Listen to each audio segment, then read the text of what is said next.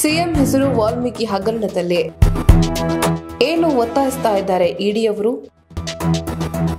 CM full ಗರಂ. ಒಂದೇ ಹಗರಣವನ್ನ ಮೂರು ಸಂಸ್ಥೆಗಳು ತನಿಖೆ ನಡೆಸ್ತಾ ಇರೋದು ಮೊದಲ ಬಾರಿ ನೋಡ್ತಾ ಇದ್ದೇವೆ. ಅಂತ ಸಿದ್ದರಾಮಯ್ಯನವರು ಕಿಡಿಕಾರಿದ್ದಾರೆ. ಕರ್ನಾಟಕ ಸರ್ಕಾರ ರಚಿಸಿರುವ ಎಸ್ಐಟಿ ಸುಮಾರು ಮೂವತ್ನಾಲ್ಕು ಕೋಟಿ ರೂಪಾಯಿಯಷ್ಟು ನಗದು ಹಣವನ್ನ ರಿಕವರಿ ಮಾಡಿದೆ. ಮತ್ತು ರತ್ನಾಕರ್ ಹೆಸರಿನ ಬ್ಯಾಂಕ್ನಲ್ಲಿದ್ದ ನಲವತ್ತಾರು ಕೋಟಿ ರೂಪಾಯಿ ಮೊತ್ತವನ್ನ ಮುಟ್ಟುಗೋಲು ಹಾಕಿಕೊಂಡಿದೆ. ಇನ್ನು ಈ ಬಗ್ಗೆ ಸಿಎಂ ಸಿದ್ದರಾಮಯ್ಯನವರು ಮಾಹಿತಿಯನ್ನು ಹಂಚಿಕೊಂಡಿದ್ದಾರೆ. ಇಡಿ ಮತ್ತು ಸಿಬಿಐ ವಿರುದ್ಧ ಸರ್ಕಾರ ಈಗಾಗಲೇ ಎಫ್ಐಆರ್ ಸಹ ದಾಖಲಿಸಿದೆ.